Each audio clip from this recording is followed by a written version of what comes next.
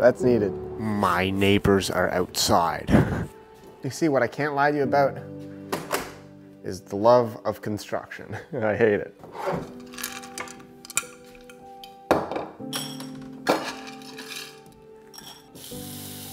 Thank you. Are you hungry? Got your food. Does it look weird because I'm gonna eat it?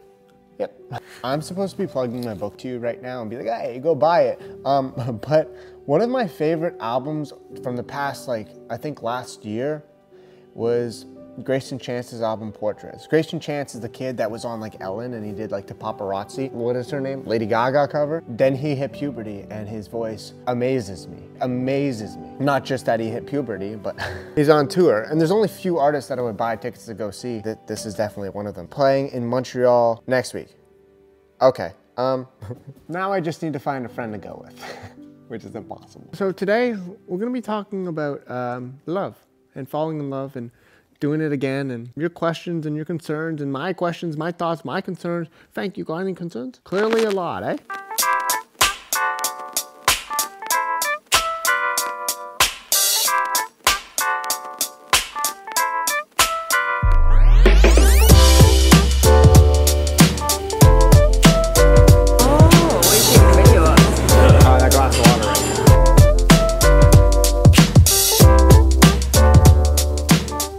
Folks, my name is Joey Kidney. Welcome. Today I want to talk about love. As some of you know, I've been dating for the past two years, mainly because my mother wants me to find somebody because I told her that I'd get married at the age of 26 and now I'm 23 and it's getting a little too scary. Because I'm gonna be honest with you, we're not even close to finding that person yet. And you see, I've had my fair share of dates over the years, but it's really, really exhausting finding out that that's all it will ever be, is a date. It just felt like I was going on dates to just go on dates. And I know you aren't supposed to go out with somebody that you don't like, but I found myself getting so close-minded that I was just becoming rude and not opening up myself to new people and new experiences. So I wanted to try new things. But it just very much felt like I was doing it just to do it, and that goes against everything that I believe. And then I would start to get so frustrated, and then I would quickly fall for somebody, but yet it was more lust than love, and it was just this constant, like, vicious circle that I couldn't get out of. And when I started to really, really like somebody, I always found that I was worrying about whether or not they liked me. And then I recently watched this Anna Akana video right here that stated if you are confused, then you're not in love. Because when it comes to love, there is no confusion. When it comes to somebody liking you, and you have to ask yourself, mm, do they like me? And you're worrying about it, and you're constantly going back and forth whether or not, well, maybe it's the fact that they're not worth it. It's literally just such simple advice, but makes sense. I haven't been wowed for the past year with advice. I haven't heard something that I haven't heard before, and this is something so simple blew my mind. Now, yes, that piece of advice worked for me and it helped me figure out something and actually it stopped me from seeing somebody because it really opened up my eyes. Now, that advice might not work for everybody, so I want to give you my little tips to help to see if you're falling for somebody and if that person's even worth it. Tip number one.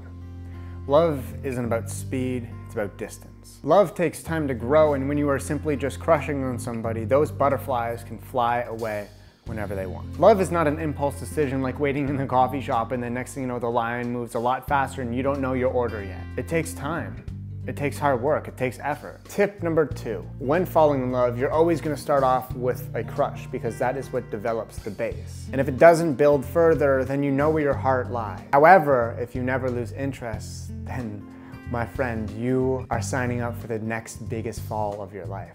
And finally, tip number three, the biggest one that helped me. Love expects nothing but only gives. And when you are sitting there without them, you aren't thinking about how they made you feel, but you are thinking about how you can't live without them and how great you want to make them feel the next time that you get to see them. Now, there are still plenty of questions like, am I built for love? Am I ready for love? Who is ready to love me? Will I ever even find love? Do I love myself? Those are all questions that, yeah, they, they mean a lot. If you ask anybody, it's gonna be a tough thing to answer no matter what, no matter what it is. And so if you're sitting here expecting me to give you the answer, I think you already know it. Because if you're asking that question, well, then it's still a question. Do you love me? Do you? Okay. Nope. nope. Now, there's a question that scares me a lot, and it's the, the question that scares me the most. And that is, am I falling too quickly? Now, in all my past relationships and all these past dates over the last two years or three years or literally whatever, actually, my entire life, I've always been in this situation where the other person has fallen quicker. This is new to me because Joey has fallen pretty quickly this time. And that's what scares me. I'm, I'm, it's terrifying.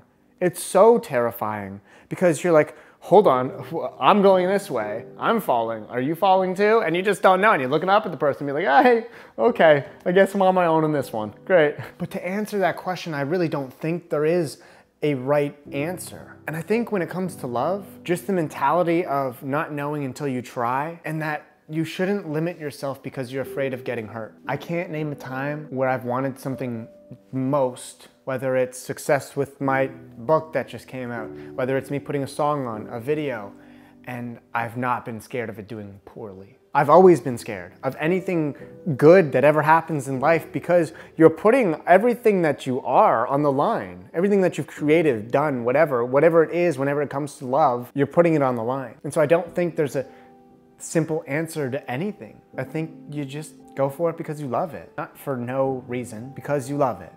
You love them. And I think that's it. Anyways, if you're new here, my name is Joey Kidney. If you'd like to go down there, hit the subscribe button, that would be amazing. It would help me out a lot. And if you like these types of videos in this format, make sure you give it a big thumbs up. And uh, if you are don't know, I dropped the book. I finally released my book. I've been talking about it for over three years now, and it's finally out. You can go to stayyou.ca or the link down below, and you can order it. And you can use the code RUSH, R-U-S-H, for $10 off. In Ottawa, we're trying to do an event on either the 15th or the 16th, so just make sure you follow me on Instagram, and I will keep you guys updated. Anyways, thank you guys very much for all the love and support. I love you guys very much. And hey, don't be afraid of getting hurt out there. You're real. You're allowed to. It's okay. stay, stay beautiful. I'll talk to you guys later.